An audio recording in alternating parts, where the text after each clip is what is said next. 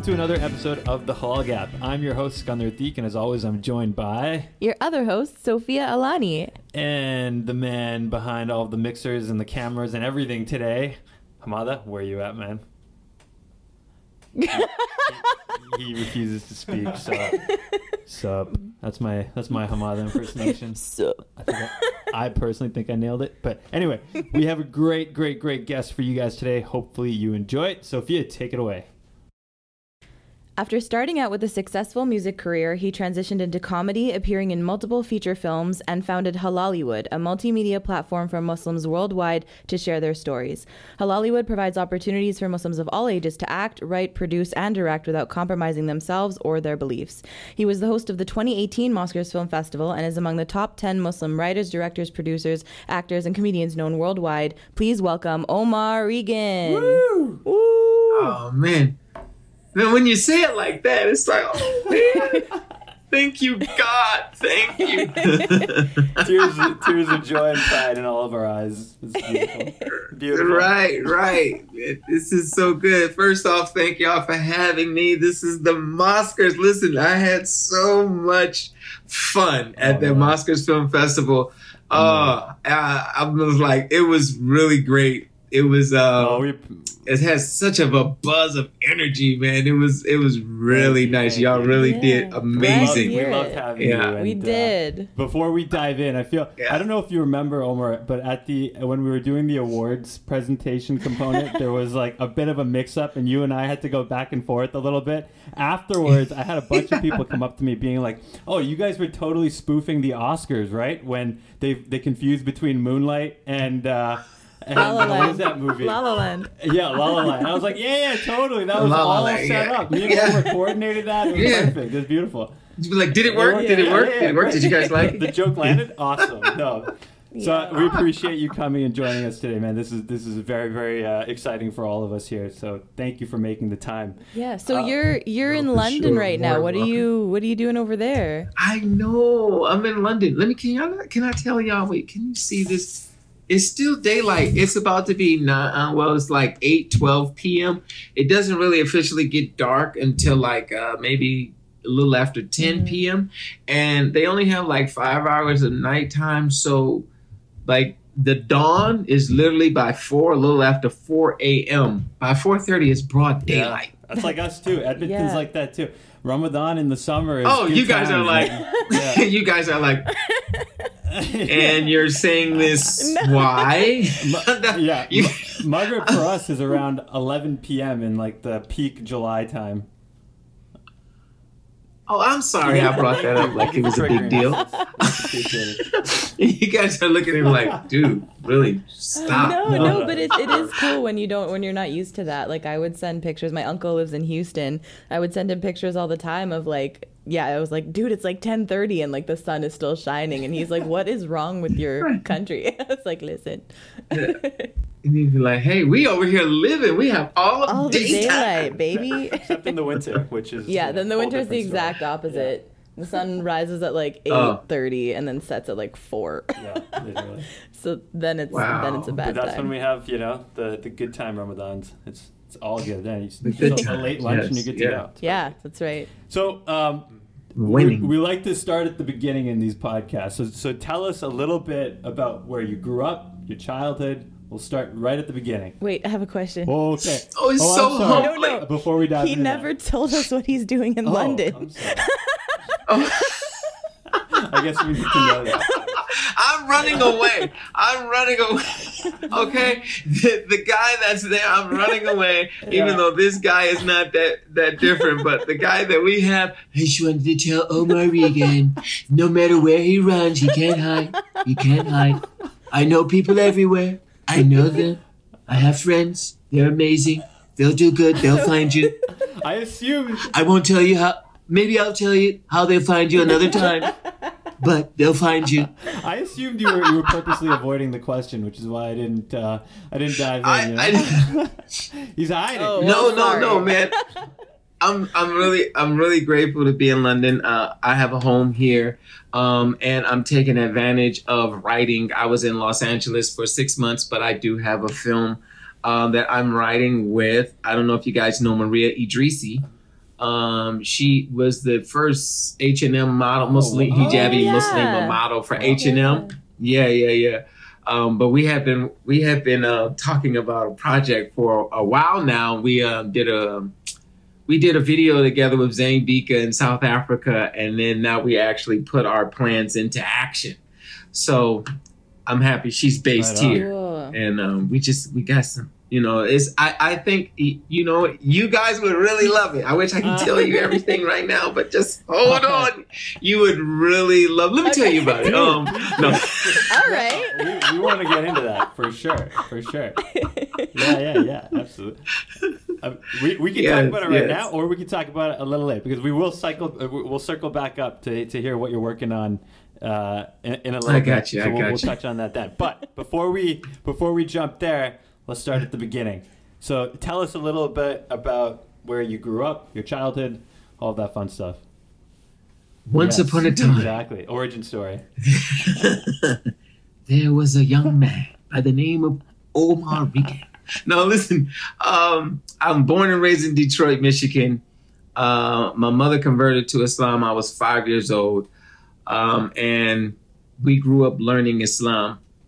And so we went through all of the um, we went through the haram version of everything is haram. There was fun was haram. Like there was none of that. You should be reading Quran. You know, I mean, like you couldn't do any fun or anything. And so growing up, I felt trapped. We was trying to find out how what was our. I didn't know what my personality was. I didn't like. I didn't even know my name. Let me tell you because because when everybody was teaching us when you become Muslim, you change your name, right? So I'm five. They started calling me Umar for the Arabic, oh, right? So as I grew up, Umar, Umar, Umar, I was, and then um, uh, my last name was Abdullah. So every time in school, it was just Umar Abdullah, Umar Abdullah. I didn't even know Omar Regan.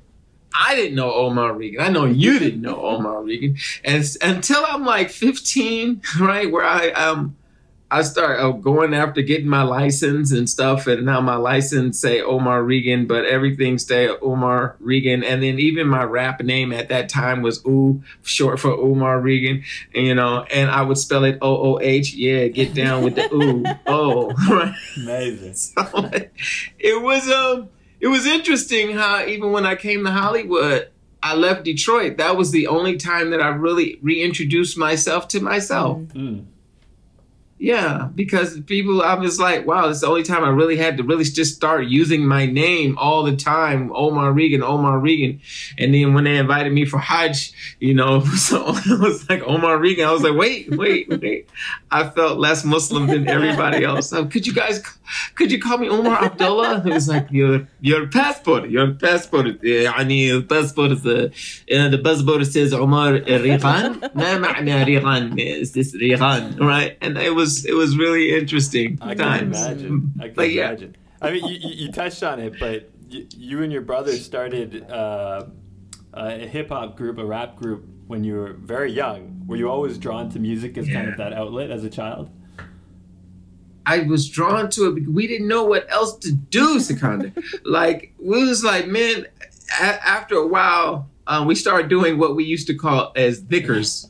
they call them nasheeds today, but we was we was beating pots and pans. Like we needed an outlet, and I wrote. Let me tell y'all, my first song. I remember my first song. It was amazing. I tell I can even tell you the lyrics to this first song. This is exactly what I wrote. I stalk for Allah, I stalk for Allah, I stalk for Allah, I stalk for Allah, I stalk for Allah, I stalk for Allah, I stalk for Allah, I for. I stalk for Allah, I stalk for Allah, I stalk for Allah, I stalk for Allah, I stalk for Allah, I stalk for That'll Allah. get stuck in your head. Man, That's a listen, banger. other people was wasting t- they was wasting time with all of the other words and stuff. It was, I was like, no, I got the hit. right. Oh my that was my first That's song. That's awesome. awesome. and then, and then, and then, as we, you know, my father was supportive because remember we were learning Islam, so he would start saying, "Oh, this is we can do this. This is this is lawful. We could do this. And we, this we could beat the Duffs. We could." We was going through that whole thing until I actually started writing lyrics, and then he was like, "Man, do it as poetry. The poets, yeah, the poets, man." And so I kind of went that route. even though I didn't really get the the touch weed of the Mhm. poets at that time. You know the touch weed of the ports. If the light has shined, I will rhyme. You know, I got you. Yeah. right, right, right. I didn't really, I didn't know because we couldn't watch. We couldn't. We could only watch kung fu movies and stuff like that. So, in my my beginnings was interesting, but this is my path of what led me to um, this creative mind. Also, we used to. I used to. I didn't know when we watched kung fu movies. When we had watched all the kung fu movies, we would make our own kung fu movies in the living room. I mean, yes. Like literally, it would be like, right. Oh my Oh my goodness. You want to challenge me? Oh! and we would we would run around the living room. That is incredible. That's dope. Incredible. So you So- were actually um, the you doubled for Chris Tucker in Rush Hour 2. So then was that like a dream come true? It was the biggest dream. Let me tell you, like the reason why that becomes such a big deal wasn't because one wasn't just because of Chris Tucker.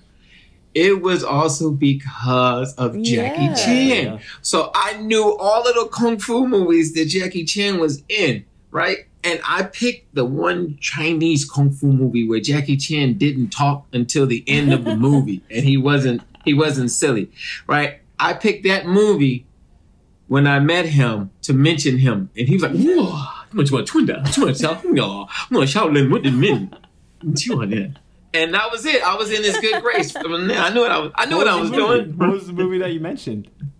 The Shaolin Wooden Men. Oh.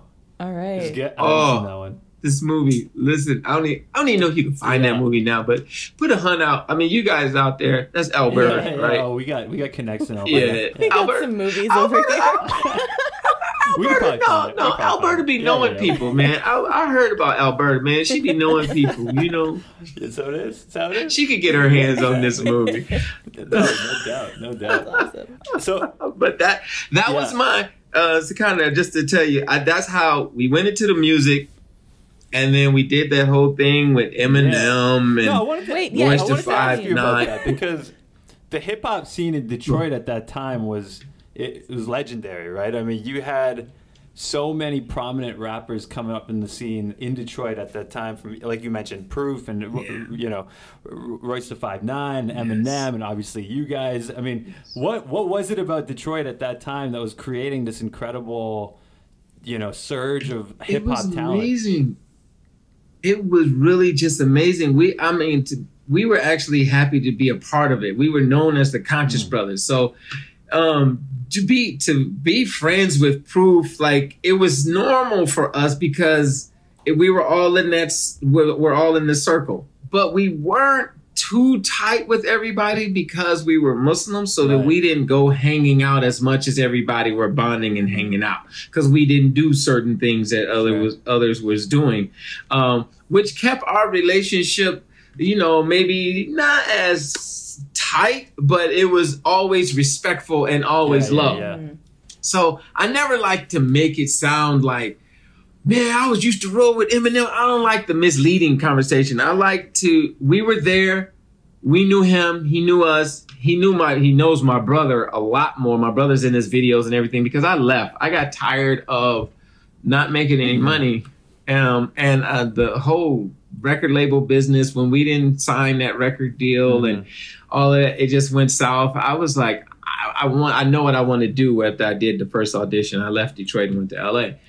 But all those guys, man, now, you know, and once you space out the time, you know, it's just all love, like, oh, Mhm. and we remember each Mhm. other, you know, and it's just good when we can see Yeah, each other, yeah, yeah. even though I haven't seen a lot of those people No, in it forever. makes sense. I mean, you know, you guys were very unabashedly Muslim too. I mean, your name was SOA, Servants of Allah, right? I mean, that's not you're not Yeah. trying to make any, Not a any secret. qualms about this. I mean, it is what it is. Was that well respected Listen. at the time? Because- I mean, this is before hip hop and was. Islam was like a lot more inter- intertangled. I feel.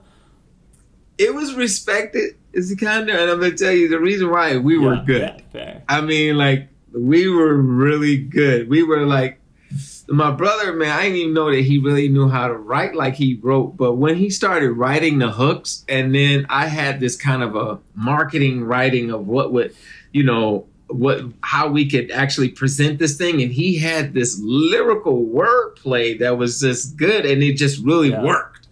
And man, we were good that everybody was like, yo, even KRS One was like, I want to go after Yeah. them. Like we were having, and we, you know, they wouldn't call us SOA, you know, like because we would serving was nice, but slaves, we were going with the hardcore word Oh, slave yeah. of, Yeah. of all. Like, oh my goodness, it was crazy. Until, um, but yeah, we had it was a good run. Um, it was it was just it was really Yeah. good, man. It was really good times, even when I sit back and think about it. And the songs that we were we were writing, my loyalty's to one, one, one. My loyalty's to one, Nice. one. You know, and it was it was it's just it was good That's times, awesome. man. Alhamdulillah. But I didn't. I'm gonna tell you this part though. When we got into the Universal record um, label thing, they was like, guys, can you, it was my fault. Let me. I take full responsibility for this. It was my fault. I wrote a um, a record about getting money, which I had never did that before, but it was a challenge for me from another rap friend, and he met his manager, and he was like, they pay for all of our studio time, so you should meet him. And so when I met him, he was like, can you write to this beat and put it on? And then I wrote, you know. I'm chasing cheddar, sharp mouth mozzarella, good fella, high walk under umbrella. Right. I started writing, right? And then he was like, Oh, that's good, that's good. It's your song. And then I came to my brother and was like, Hey, listen, I'm writing about getting this. He was like, Are you crazy? My brother was so much stronger than me. I was like, Let's get the money. We can come back to slaves of the law. Let's get the money. Oh, Let's get it. He was like, No. But Universal said, so since you guys have this, they have a buzz. You have a buzz in Detroit. Everybody knows you as SOA. We have an idea. We can keep the SOA. E S S O. SO is that in Latin and way. And we can market it where you guys do it that way. Hmm. That way is the way you do it. SOA. And we can keep their name there. It was it was, it was so bad. But they were so stretch. serious. It was so serious. And uh, my brother was like, no. and then he got mad. When he went and told my dad, Allah bless him. And I was like, kind of like, yeah. I was like, man. And then it all fell Uh, apart. But um, Yeah, I mean, you know, you touched on it, and obviously, I'm, I'm, I'm sure it was a very difficult decision. But you know, you, you mentioned that you got a, a record offer from from Tommy Boy Records, which at the time, you know, was like a hit maker, right? I mean, they had Queen Latifah and Afrika Bambaataa and like a bunch of big names. What like they were marketing us as like the next Mobb Deep. Yeah, which is huge. But That was- you know what I mean? What you know, what what motivated you to say no, and what what was that decision process like? I didn't Oh, say did? no. I didn't say no. My brother said enough. no. I was like, let's get the money and we could build a mosque. Shit. That's awesome. oh man. he, he said no. He was like, no. I was like, man, what is? He was like, you so corny, dude. What are you so corny? Right? I was like, they used to call me the Diddy of the group. They, well, it wasn't Diddy at that time. it was Puff, Puffy of course, of the group. Mm. It was the puffy of the group because I was always I wrote this song that was on the Battle of the Beats on the record, right? I talked my brother into putting a verse on the song because he wouldn't do it. He was just he was more hardcore rapper, right? And the song, the the hook of the song was yeah yeah yeah yeah. Yeah, yeah, yeah, yeah, yeah, yeah, yeah, yeah, right? and haram, right? I was like, call me Papadana, Mexicana, right? this is the time when Latin and hip hop was coming together. This is right before J Lo and all of those guys started doing all of these records. So I knew I saw something, and people were like, "How you gonna write a song called Yeah Yeah Yeah?" and they were really bashing me, but we did really good on the Battle of the Beats, and we were on the Battle of the Beats for Hmm. weeks. We were winning. We were winning. That's how the record label called. But anyway, after all of that just went down the drain, who comes up later makes another hit? Yeah, yeah. Oh, yeah. Oh, sure. Usher. Oh, Usher. Oh Usher. my god. And I was like, I told you. I told you. I told y'all. They was bad mouthing me every time about the yeah, yeah, yeah, yeah. And I was like, he come out, yeah, yeah. Do the yeah, yeah. I was like, he said the same thing. That's awesome. Oh my goodness. So, So- good. So good. So I also like I you mentioned how, you know, they wanted to change your name uh, and kind of change who you were and kind of potentially like affect like the integrity of your image and like why you were doing what you were doing. So uh, tell us about like how that felt and as a Muslim, as a person in the industry, and then also I feel like there's a good transition here to how Halalywood happened. Um, and tell us about that. they sounded let me tell you something sofia they sounded right because the guy literally said so you guys name is soa slaves of allah.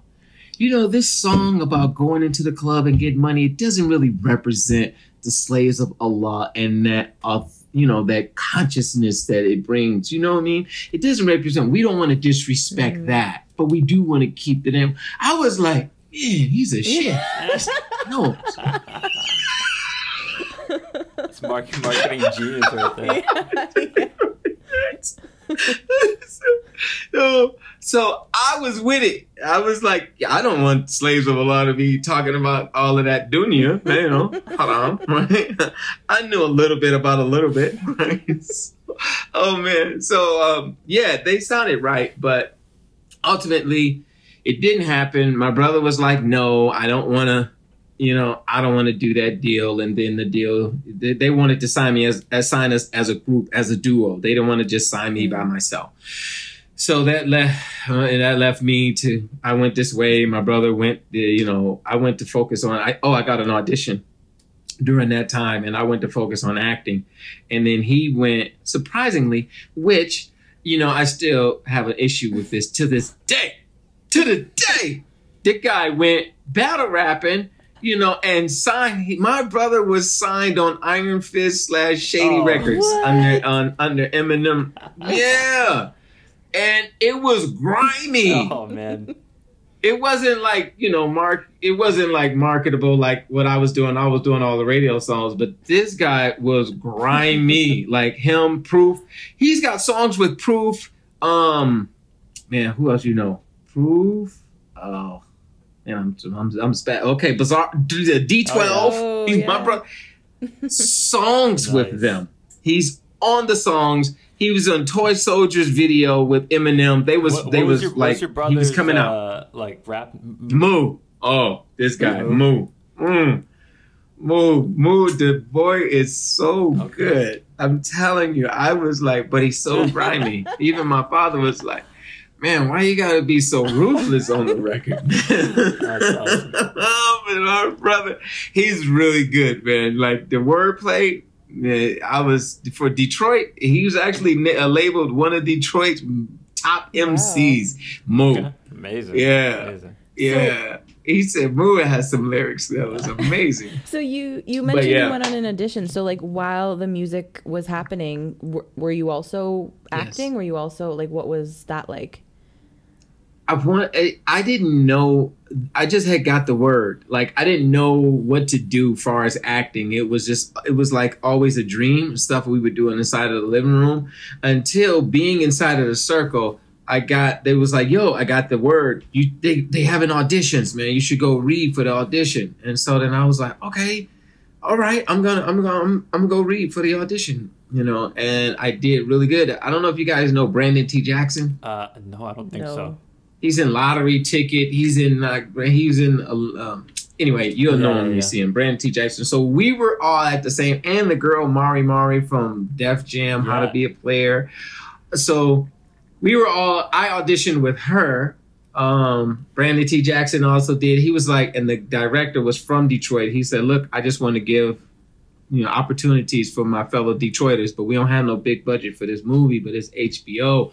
All you got to do is get to California and that was a that was the hassle because I was like, I'm gonna get to California. I ain't got no money. I'm gonna get there. So I made it though. Yeah, yeah. it's a miracle.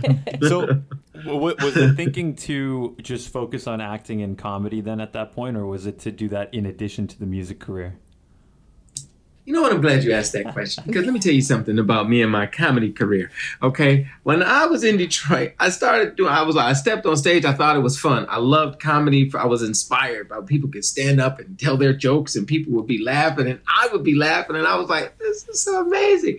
When I saw Chris Tucker on Def Comedy Jam, it just blew my mind. I was like, he's just really telling all of his stuff. I want to tell my stuff, and people laugh. So I just went to the amateur night and other people was in my ear like you should go you should go. Coco was having an amateur night. I went wednesday night and i was just jumped up on stage and i froze. Mm. it was people in the audience they was looking at me and this guy in detroit he jumped up and he said you better be funny blank blank. And i was like oh. And then i didn't know what to mm. say and I just froze. And the DJ started saying, "Get, get, get, get out of here! Get, get, get, oh, get out of here!" And they started shaking keys, and people were, oh, "Boo!" Oh my god! Boo! And then that was it. I was in the back. Uh, Had to walk wow. off of the stage, do the walk of shame. And I don't, to this day, I don't know what made me go back the very next week and do the same thing all over again. like I just must have liked it. I don't know why. They called me back up. I went back the next Wednesday. I went back up on stage. Wait, I started trying to do a Chris Tucker oh, impersonation to to save me. Right? I was like, man, wait a minute, man, wait a minute. The guy, the, the guy in the audience said, the guy said, he said, man, shut up. You ain't no GD Chris Tucker. I, so, I hid in the back Okay, because this is the time I didn't want people to see and be pointing like that's the guy that got booed off right there. I I hid in the back, man, before everybody to leave so I can come out of the club. But it was a one comedian who uh, who pulled me to the side and was like, "Listen, man, look, you starting out too big. It's 350 people out there. Just go to a smaller club and mm-hmm. you know try to work your way to get your first laugh." And I was like, "Skip that. I'll never do this again. I'll never do it again." I won't. And I had I quit comedy at that moment. I just accepted that it wasn't for me. Um, it was for someone else. And then I was with these producer friends where they were talking about making a movie in Detroit. And then we went to a comedy club because he was like, we're gonna scout for more talent. And then the guy was having the comic was having an off night and people just was tired of seeing him and he wasn't funny that night. And then when we walked, the producer was like, "We got a comedian right here. He's funny as heck." Mm-hmm. I was like, "No, no," because they wasn't there. They didn't know what had happened to mm-hmm. me at the mm-hmm. comedy club. It's like I was like, "No, no, no, no. We not talking anymore. I, we broke up. Me and comedy broke up." Like, but they didn't get the memo. And this was how I got my first laugh because I was, you know, I couldn't be like a punk in front of these guys. I'm from Detroit, so they was like, "Oh, come on up, come on up, come on. What's your name, brother?" And they was like, "Name Omar." And I was like, "Oh, they did it." It was like, "All right, coming to the stage, y'all very comedian, friendly comedian. You know, coming to the stage, just bring up Omar." And people started clapping, and they had a little more enthusiasm because it was somebody different than the guy that was up on stage. And I was like, "Oh, I just got to tell them the truth." So I went up there and was like, "Guys, listen, I'm really not a comedian. I just needed somebody to talk to." And that was my first laugh. They was like, and I was like, what? And then I was like, man, you making that chicken look real good.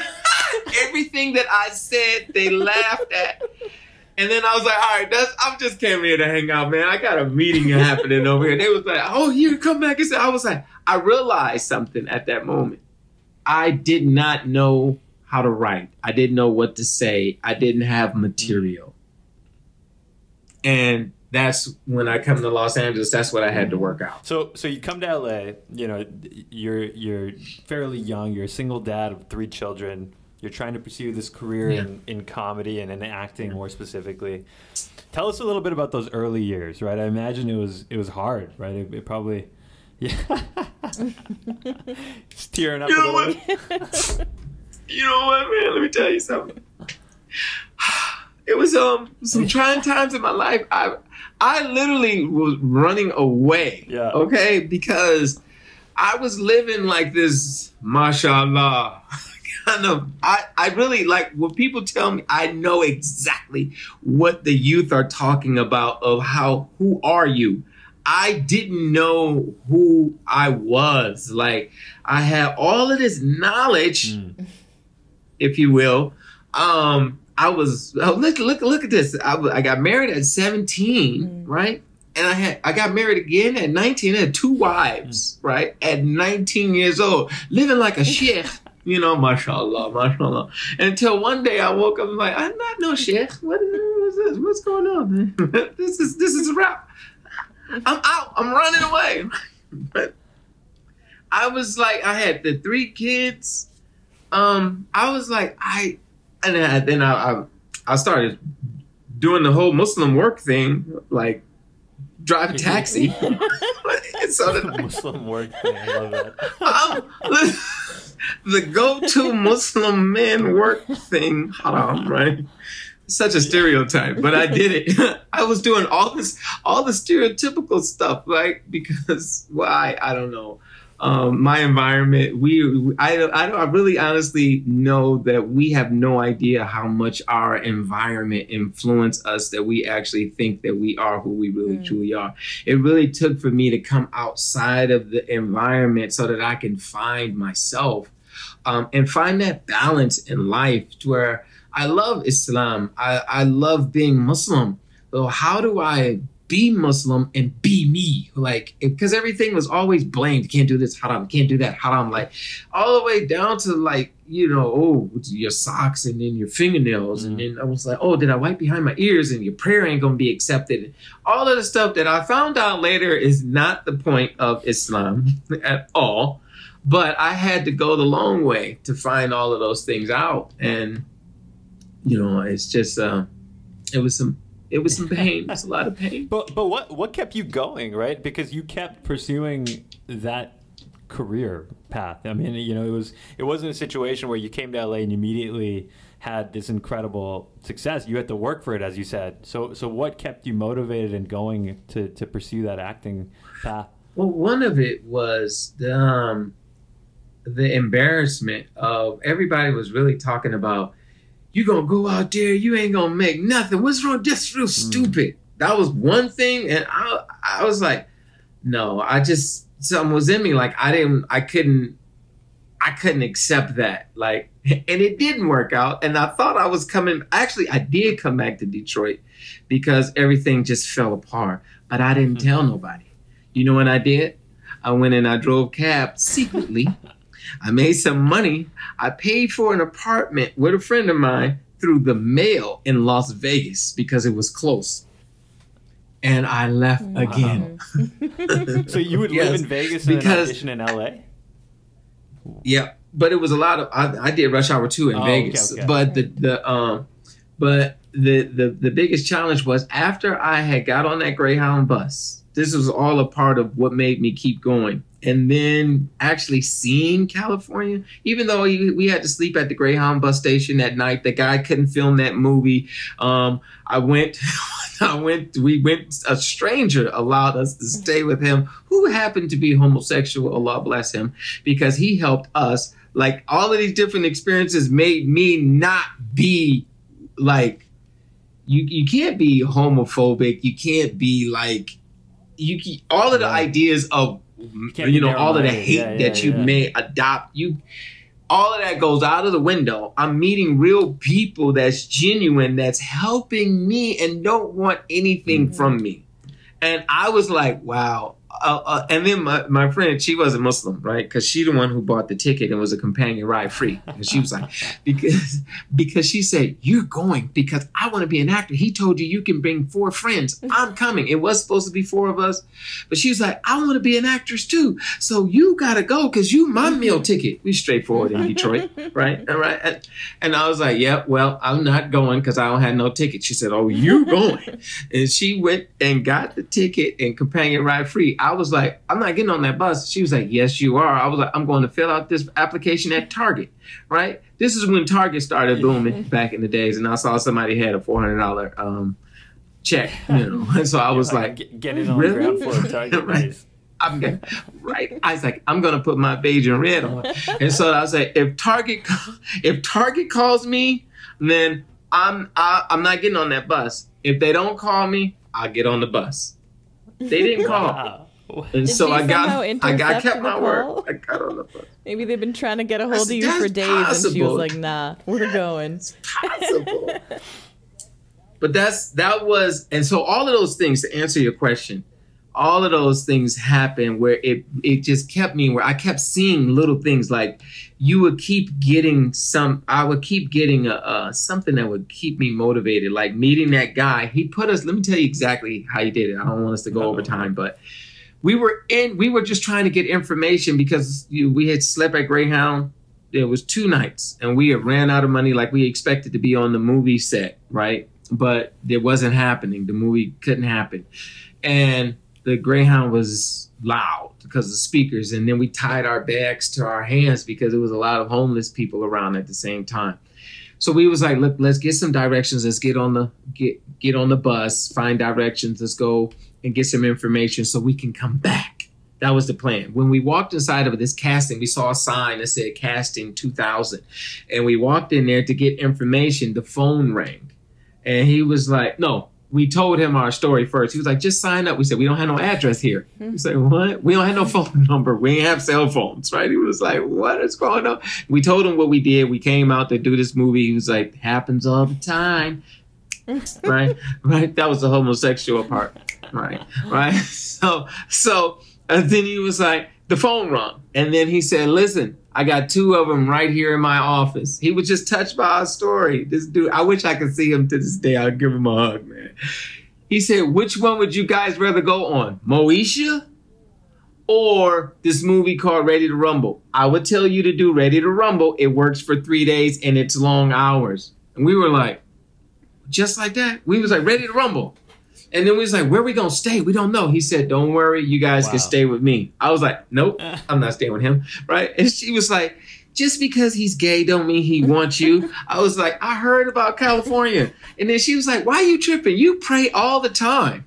I was like, that is true, right? so I was like, ah. So it's so interesting that we stayed there. He let us stay there Wow.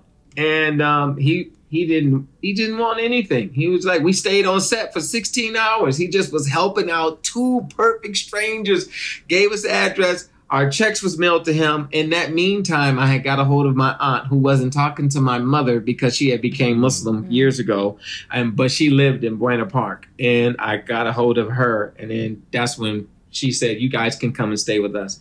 So because all of these things was happening, it just kept pushing me where when I felt like there was I was at the end of the road, something would happen. And I was like, wow, something else would happen. And that's what kept me in it. And it I'm, it's so humbling. I it just it's really humbling. Yeah, that's awesome. So like the kindness of strangers very much contributed to to your success in a lot of ways. That's pretty cool.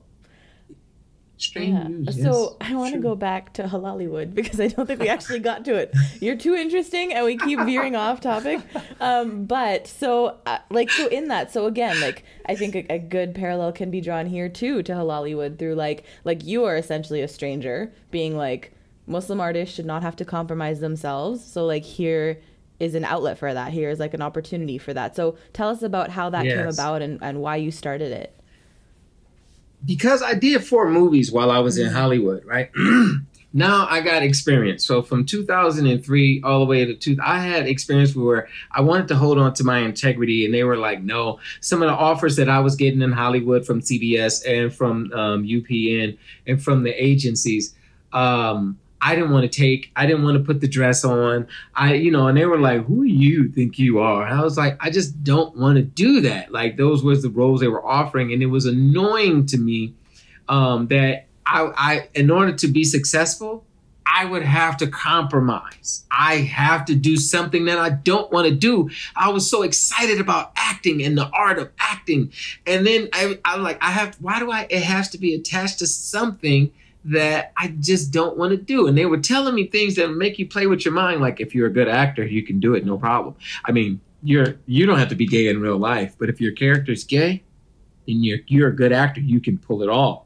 And then I was like, man, that do sound pretty. That sounds pretty authentic. What he's saying right there. If I'm a good actor.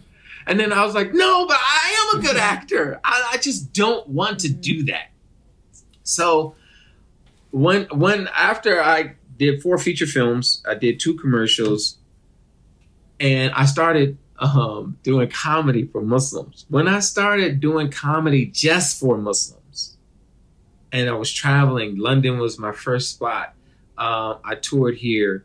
Um, then I ended up in Hong Kong, China, and Turkey, and I, I, I was like, man, people don't know Muslims laugh because even I didn't.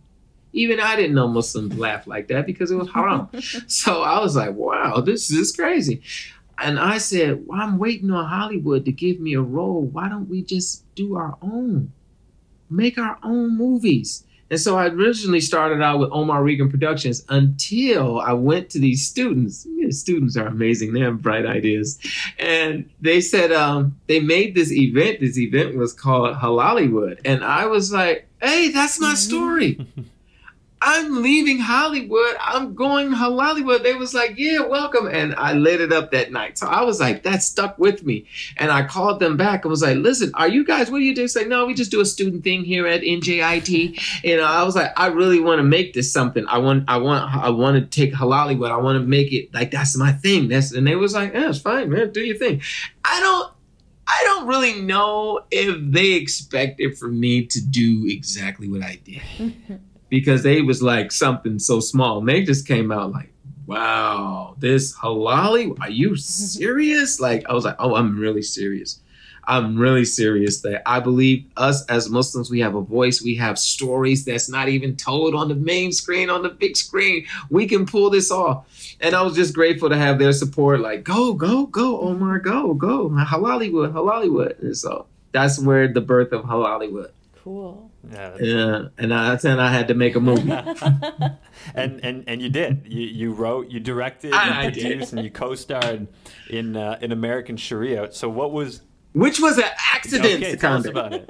Tell us about it. That let me tell you something. Let me tell you something.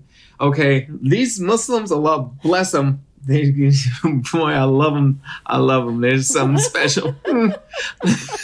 Listen, I I didn't go to school for directing. Now I knew I was good at acting because even in comedy, what I did was to even hone my craft. I took some workshops. I, I, I took improv. So I and then I I was hopping in and I was just turning down things. I was doing really great at auditions, right? I was I just I turned down three things that may have even put me to somewhere else, right? Which I'm grateful for my journey. But however, when I'm telling these these these these these Muslims, I was like, listen, I got this beautiful idea. We can make our own. They was like, yeah. You know how many people came up with this idea and said they were going to do it? I was like, yeah, but I got it. We could do it. I hit the Kickstarter and we got ninety thousand dollars after. It says one hundred twenty-two thousand, but after it was a couple people that fell off and their monies didn't come through, and then Kickstarter took their money. We had ninety thousand dollars. I was like, listen, brother. First, I took two thousand and I filmed the mock trailer right? Because he was a director. I didn't know how to direct. He directed it. It was great. I was telling him everything I want. He knew the shots. I came back to him and was like, "Listen, I got I got ninety thousand dollars. Let's make the movie." Ah, Omar, I'm sorry, man. I'm just not really feeling it, man. You're gonna make this movie targeting Muslims as your audience, and it's just, I mean, they're they're not to support you. I'm just, I'm sorry. And he was so cynical. He was like, he was like all negative. and he's like, I got a, I got another project that I'm gonna, I'm gonna, I'm gonna do. I was like, well, I, I'm gonna have to. I know that I know the movie, so I wrote it. So I'm gonna have to direct it because I wrote it, but I didn't know how to direct. So that was an accident, you know. And even my brother was like, you know, you're so full of yourself. you're you're gonna be the star. You're gonna be the writer. You're gonna be the producer. You're gonna be the actor. What do you, what do you think? I was like, but I but I'm inspired by Ben Affleck, right? Like, Amazing, amazing, Carol. no, but you know, I, I I'm wondering what your thoughts are on. So maybe to back up first with Halalywood, was the inspiration to create content for Muslims, or was it to create content that represented Muslims in a way that would be more relatable to the mainstream? it was it was kind it was directed to target everyone.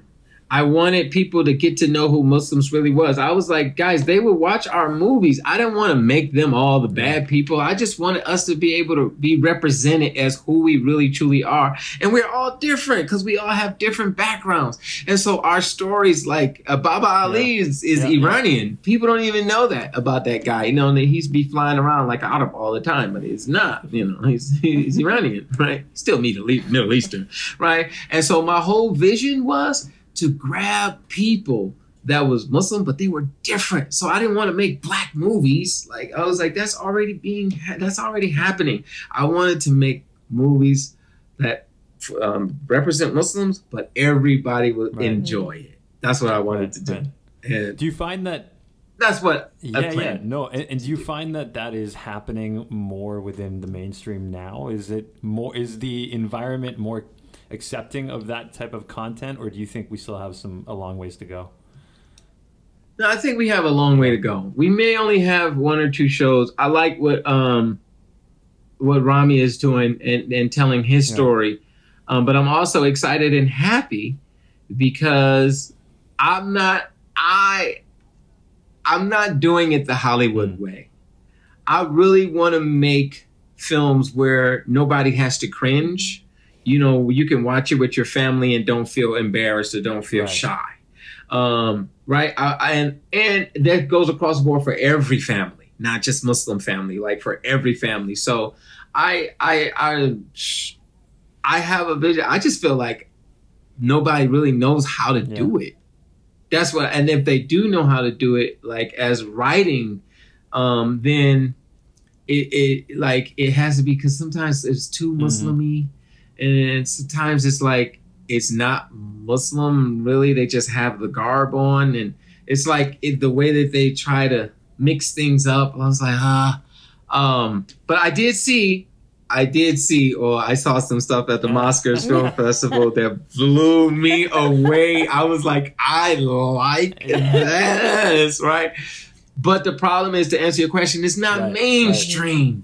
So even those those the, some of the films that was there that was amazing at Mosquers, mainstream wise, which is the answer to your question, it's not out. So they don't have an avenue, which is what I was like, oh Allah, please, because at Halalywood we had the money, right? I would call those people at Mosquers, those Right, filmmakers, sure. and be like, we want to, we got the money to produce Yeah. your film. We want, we need this out in the mainstream, and we have the platform. So that and those films you can watch it with Mhm. everybody right you don't have to cringe you don't have to close your eyes or you don't have to you know i mean whether it was made for by a muslim or not you don't have to do all that right um and i'm uh, i've just lost the point that i was trying to make to you but right? but the whole goal is hiring muslimas whether she whether she has a hijab whether she doesn't have hijab whether she has niqab, whether she doesn't Right. have a niqab. Like I hired a sister in niqab because she wore niqab. I hired a sister that didn't wear hijab. I hired a sister that did wear hijab, and I wanted uh, that was Halalywood because I'm tired of. I'm tired of that thing too. I could tell you what this sheikh actually told me. He's a sheikh, sheikh, like with the title sheikh, and not just part of his name. Um, he says to me, Omar, don't put pretty women inside of your movie. This would make you have a very big sin. And I was like, what? What are you saying? Don't put pretty women in the movie. If the guy sees the pretty woman, you put her inside of the movie, and he sins for looking at her, you're also going to get that sin. I was like, check, this don't make sense. Who's the person that's saying who's pretty and who's not? Good point. And my brother was with me. My brother was with me. He was like, "Yeah." So, do you have somebody saying which is the ugly, uh, ugly sisters? Like, wh- how's that even make sense? How's that even sound right? Like, oh, if she's Muslim and she's ugly, she's okay. Put her in the movie. She's. And like, why is it only It for the don't even women make too? I mean. Yeah. You know, what about good-looking Right. guys? I mean, I'm sure you The know, ugly you probably brothers, make man. uh, some thoughts happen. I, I am promising you. I promise you. I'm using that. I'm sorry. That sheikh is gonna get it in my film. He's gonna be like, Haram Omar. I was younger back then. I was like, it's okay. So was I. I listen, listen to you. All of that kind of rhetoric. I was like, we doing away with that here at Halalywood. All I want everybody to do is maintain their self discipline, their integrity. I don't want a sister to feel like, oh, I'm I'm Muslim, so do I have to kiss him? Do I have to be in the bed with him? You don't have to do none of that. I'm not interested in making movies to sell sex. I'm interested in making movies to tell authentic stories. And when there's love there, we don't have to show that. That's like we have enough of mm-hmm. that out there. But we can creatively, artistically, we can express that and people would feel the love. So all of our sisters don't have to worry about what they that movie bombshell. I don't know if y'all seen that. they don't they don't have to worry about the you know the Harvey Weinstein stories that's plaguing the Hollywood t- today. We're already focused on man, what's your what's important for you to protect? Those are the things that I want to know. We want you to be a part of this film. What's important for you? Man, I don't want to wear hijab. I don't want to be made to seem like not a problem. That's I don't want to seem fake, not a problem. Here, got a role for you what's important for you. I want to do it differently than than Hollywood does it. Like you have to, and and and if you're a good actor, then you can put this hijab on and make yourself the best Muslim ever. I'm like, she probably the better Muslim than all of us. Like we, we got to stop doing that. I know some sisters in hijab that was um dangerous. to say the least. I knew brothers in thobes that was on drugs. I like I so I'm yeah. not I'm not trying to fall for the image of what Islam. I need the Islam to be your character, what you're holding mm, on right. to, and so that's what I want to get back to. And so, in all of my films, that's what I'm writing. I'm right, and I'm inspired by some some stuff Hollywood has out. Um, like I'm making, I wrote a film now in my quarantine that I believe everybody's gonna love this movie. Um, is I, I'm only I only tell you the the theme of it is two brothers, black American brothers in Pakistan. What could go wrong? is that the tagline? That's pretty impressive. what are we doing over there? Starring Omar Regan and Preacher oh, Amazing. is, is, that actually Listen, like is he uh, is he attached? Oh, it's real. Amazing. It's wow. real. Yes, he is attached. I'm excited. I got goosebumps, yeah. man. This movie. Yes. listen. That's incredible. Uh, uh it's, it's, really nice. I have a film in South Africa with Zain Bhikha. Um, it's like the Little Rascals meets Rugrats. like, um, meet Stand By Me. Oh, oh, it's really it's good. What's it called? Um, I took all of that. It's like What's it called? Huh? It's about oh, it's how it's about the orphans. So it's like um, have you seen Rabbit Proof Fence? No. no. Okay, so a little bit about this story, really short. These orphans um, are living on the street, and how are they making it day to day? And it's not a documentary. Uh, one gets inspired to say you got to find peace within inside of yourself, even as a even as a child. And this girl wants to find peace by any means, and so she has a strong influence with the rest of her fellow orphans um, to say, guys, we need to find peace. And this guy, he found it at the ocean, and I want to get to the ocean and they're like, no peace at the ocean.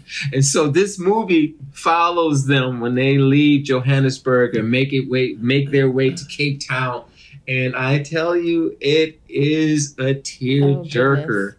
it's um it's it's so touching, man. Like, but as kids, I I promise you, I cried when I wrote this um the screenplay. Wow. I cried writing the screenplay it was it happened to me the first time that I was like, oh, I felt this. This was amazing, and I was like, I'm tripping because I wrote it, but I I went to go and ask you know, Zain, he was like, this scene right here. And I told Zain, I was like, dude, I cried when that scene come. That's how I know it's not from me. I just happened to be, and I called another good friend of mine, Amir Sulaiman, because we had a writing session together. He was like, that's it. When you, when it happens like that, you know, it's not from you. You are just the vessel. Mm. You are like, you're just the messenger and it's your job to pass it through. And that movie. I even found the song that's gonna play right at that moment. It's like things like when we, we were talking about what keeps you in it, even though like my first movie didn't do what I wanted it to do, and what keeps me in it. It's things Yeah. like this behind the scenes that keeps me so motivated that I'm excited for Halalywood and what we what we working on and and where we are like mentally, um, spiritually, and and artistically, what's happening. And I know that it's attracting other Yeah. artists. Mm. So So when, when can we expect those uh, those two movies to be released?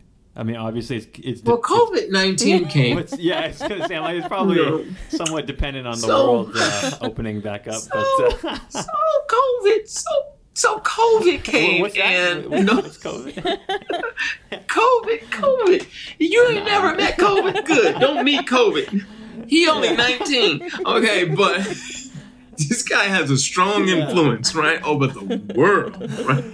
oh man! But i- is, it, is it kind of like scheduled for as soon as things come back online, these will get going? It is, but let me tell you, this is the reality. Like, subhanallah, man. I got um my I was I, I had to be disciplined. I had to be like wait, faithful neighbors, faithful neighbors. So I have a partnership and investors for faithful neighbors, right? And faithful neighbors is where I attack religion. And just I come after all of these Muslims, Christians, and Jews inside of this film, right? And um, is, it's um, I've been I've been working on this one since Yeah. American Sharia, right? And we were filming the mock trailer to lock in this three million dollar budget. March, Wow. Mm. and where through whole Ramadan, like COVID came and he shut us down. You know, and alhamdulillah, it's like, okay, you know, so now we are standing by because it's a little difficult to film now. We got to do, um, because also what I, oh, can I tell you this? Can I tell you this?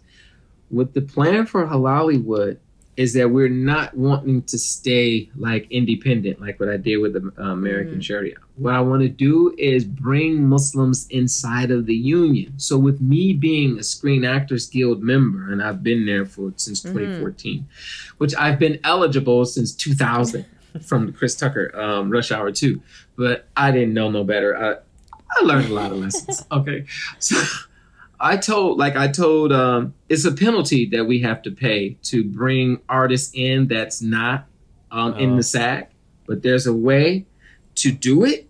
Um, and so I, we're become we become stronger, more Muslims inside of the Screen Actors Guild, and have having this plan that the way we're doing it with Halalywood is bringing maybe maybe because they it hit us with a penalty, so we may only be able to bring, depending on the budget that we have, two to three, three to four at a time. But it it makes us stronger because now once he's inside um, of the union and she's inside of the union, automatically the contract goes Mhm. amazing. But I can't do what I did with the first film. I brought everybody. They none of them acted before. none of them was on the, was in the union, and I made this movie. But it, it doesn't help us to come Right. outside of that. You know that in that independence. So we need to be able to take. Uh, they Muslims. They need to be seen. They need to. You know what I mean. They need to have this influence inside of this industry, and there are just not enough of these good people that have the same like mind of man. Look, you know integrity, self discipline. You know, let's let's let's do this and let's create along Yeah, with art. So, uh, what- that's our plan for Halalywood that we'll do. So we are going to make sure that we are industry. So we will be SAG Films, alhamdulillah, um, making it a union project. And that's what I was talking to Boonaa Mohammed, Boonaa Mohammed about. Boonaa Mohammed was like, Ugh. And I was like, but there's still a lane for you because Boonaa, I love Boonaa. projects, Listen, yeah. I want Listen, Boonaa, I'm on this film with Boonaa, right? Uh, I did Boonaa's latest film. It's not out yet. And I told Boonaa, I said, we gotta, we have to really push your film. Can't do it by ourselves like I was doing with American Sharia. In this next film, even though it's independent, we have to push this film because uh, it's a good film. And it, the only challenge that it has is that we just need more support. You know what I mean? And uh, I was like, if you make a union, he was like, ah, all those union rules. And it's true because the union have some amazing rules, but I believe for the long run. So I'm looking, I'll partner up with Boonaa when I'm like, well, I can't do this union thing. I'm coming over here with you. But and then I'll push the union thing over, you know, however long it takes for us to get it where we really want it. Nice. Right on, right on. So Omar, before we before we wrap up, we like. Oh, we gotta go? that? No, we're not quite done yet. We're not quite done yet. Before we wrap up, we we, we, we like to do some. It's still Yeah, daylight still- over there. Oh, we got a It's still lot of daylight left too. Yeah. Yeah. But uh, before we before we do close, we we like to do a series of rapid fire questions. Okay, these are questions where first thing that comes to your mind, you just spit it out, no thought required. Are you ready? And there's no wrong answers. Un- un- un- unless Yes, there it is a wrong answer, in which case, you know, we can't be held liable. But are you ready? Okay.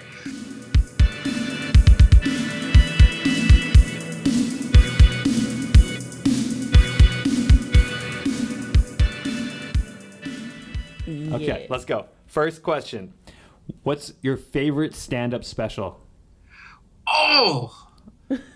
Oh, First thing that comes to mind. this is my minds. Solid answer. Solid answer. Deal. Um, Wu Tang or NWA? Wu Tang. What's your most rewatched movie of all time? Oh, life. Oh, okay. All right. Nice. Right on. Eddie Murphy and Martin Lawrence. Yeah, Yeah, yeah, true. yeah. Yeah. Yeah, yeah. Uh, what's your favorite kind of potato? Oh, Like the way oh, of eating it, like Like fries, or fries, mashed, potato. fries. scallops, Fries. fries. Like regular fries, waffle fries, Regular fries. All right, all My right. favorite. Right With on, the right skin on. on it. Ooh, yeah. Okay. All right. And final question. I know with your work you've been able to travel all over the world. What's your favorite place that you've done a show? Oh, And, and- and we're just gonna assume Edmonton's number one, so we're gonna we're gonna go with number two. Number listen. two. Yeah. Why do you say this? I like Edmonton. Um, it was nice and quiet, and yeah, I didn't know where. Hey now, hey now. Quiet. we are very happening. yeah. What are you talking about? It's loud as hell. Really. No, okay, you, you can make you it know what- What's your favorite travel destination in general? Oh man, so it's so many of them. I like uh, Malaysia, I like Zanzibar, I like Ghana. it's so bad. I Top really three. like. Oh, I like South Africa. I, I've been there like 10, 12, 12 times. Amazing. Cape Town. Amazing. Have you been to Cape Town? I haven't. I haven't Oh. either. No. You have to Sounds go. list. It is So are you, amazing. are you taking us? We're gonna or- we're gonna yeah. hey, listen. We're listen. gonna go on a road. We're gonna go on a trip remind me. together when uh, COVID's listen, done. I'm saying this. I'm really being serious. Please remind me. The minute you see me posting that we're filming, um, because South Africa may free up before um, um, um, the states, Mm. but you know that one is a partnered film. That's a, a Halalywood and Zain Bhikha Studios film project. If this one comes off of the ground first, I'm posting that we're about to ready to go film in South Africa. If you see me post on the Instagram, be like, Omar, what's up? You gotta come on. What's up? Because I want more people to experience, especially you guys represent Mosquers. It's like Hey. it's a big deal. Y- I could, if- I could you're actually, posting us in South Africa. You know I'm what I'm Yeah, that's okay I'm with down. me. I could, I could, you know what I'm saying? I could, I could definitely have that conversation and say, guys, we, you know, five thousand dollars inside of this budget. We need to bring these people over. Right Okay. on. Okay. It's- Yeah, All right. we got We got it on. video, yeah, it's been recorded, audio. man. I said it. Multiple You know, platforms. I'm a firm believer in speaking things into existence. Yeah, I love it. I love And it. if somebody I tell me it. you're gonna be five thousand dollars short on making this movie, I'm gonna be like, Yeah. really? Come on, now. We could do better than that. much, much appreciated. Amazing. Well, Incredible. thank you. That's a that's a pretty a free trip generous, wonderful Africa out of this. offer. Right on. Let's put it out there. Say Yeah, yeah. exactly. Say yeah. We Yeah. universe. Oh, Yeah. we're saying yes. Yeah. I'm pretty sure. I'm in. Yeah, we're down. I'm in. Uh, Amazing. O- Omar, thank you so much for your time. Before we let you go, where can people find you and your work? Man, alhamdulillah. Um, Halalywood.com, which we're revamping that. Oh, I didn't even tell you guys. I'm sorry. No, well, no, guess tell it be. us, Go ahead, tell go us. ahead. It's got to be the next time. Got to be the next Oh, time. a No, hundred Are you sure? You can you can say There it now if you want time, to. no, listen. Let me just tell you right this. Yeah. Um, we also started the Halalywood Foundation, and Oh, the okay. Halalywood Foundation um, is catered to our children. So the vision is we're making what we can call like the Muslim Sesame Street, right? Mm. But it's from the voices of our children. So Is that I, what was the cartoon YouTube videos that I saw? Those yes. were so cute and cool. Oh man, so listen, after we had 20 million views on The Law Made Everything and Cotton Yeah. Candy Sky, and I was like, I had been saying, I want our children to look up to themselves, like, and Mhm. look up to their fellow classmates. So we created this thing. Uh, well, the Halalywood Foundation. I didn't want the parents to have to pay for it because animation is expensive. So I made a nonprofit organization where we can still take the kids to do good work to feed the hungry, to do all, but the art is art wins. This is where we are. Our theme is art wins, and through art, we're going to be able to take care of all of our neighborly needs for all of our fellow human beings who need. And I, and at the same time, we're having these children be creative and write. So I'm gonna post now since I've been over here. I'm working on that and writing this uh, script with Idrissi.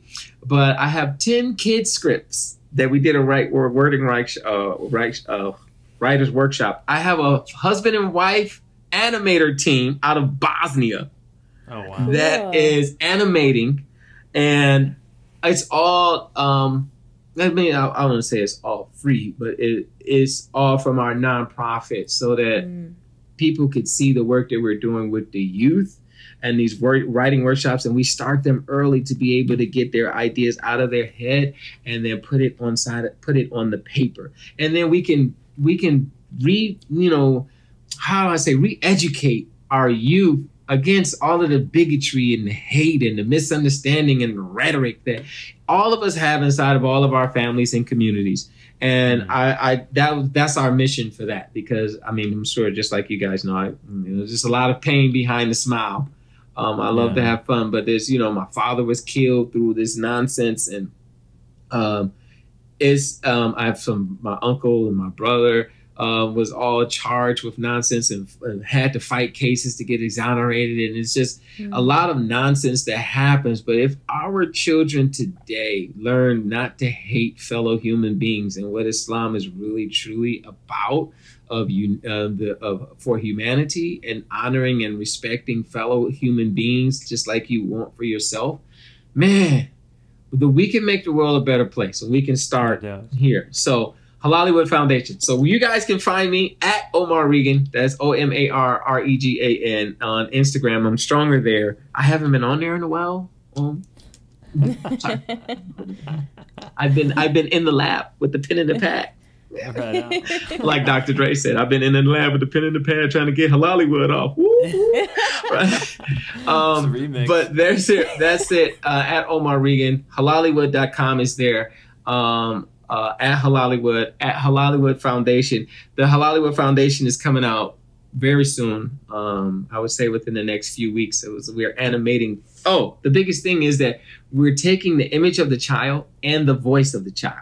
So we're not just teaching them to write. We're teaching them to voice. We're teaching them voiceover acting so that Wow. they could be themselves when they look and be like, I did that. And it inspires them to be like, oh, I want to do something else. I want to do something else. Mhm. And we have all the way up to 16 years old so far.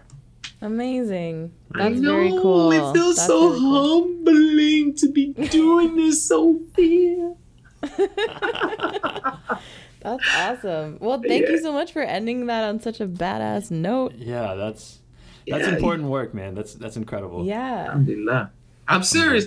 These kids, I believe one of these kids is going to have a film. I'm going to tell them to submit it to Mosquers Film Festival when, Yes. co- when COVID leave. When COVID Yes. leaves. When COVID, Please. COVID Yeah. leaves. When the COVID go. I mean, animated work, you know, that's the one medium that you could probably still do throughout COVID. So, hey, Yes. keep it working. Yeah. Yeah, They have a film good. they want to submit. We had a animated film a few years ago. Yeah, we got a That was really. we got a few. Yeah, have- yeah, we yeah. had more than I. Yeah, I only yeah, saw yeah. one. Um, Yeah. But yeah, it was pretty cool. So that yeah, tell tell them, get them ready. To get them ready. Get them ready, man. Get them ready.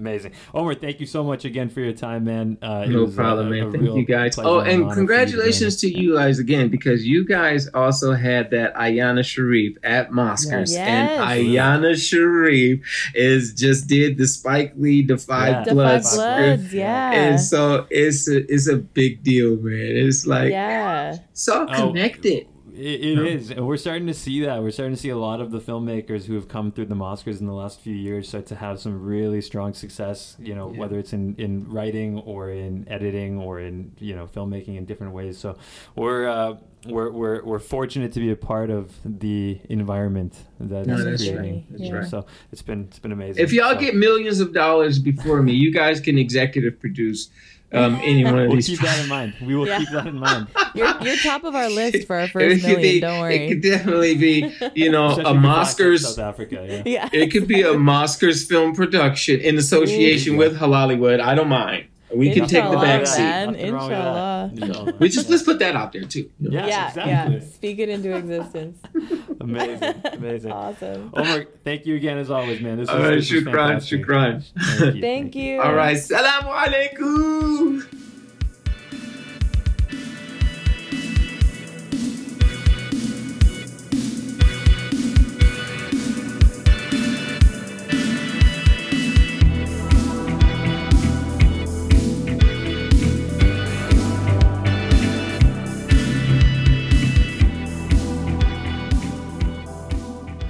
Thank you so much for joining us for another episode of The Halal Gap. You can find us online by searching Mosquers Film Festival on Instagram, Facebook, and Twitter. Join We us- hope you can join us next time. That's the one.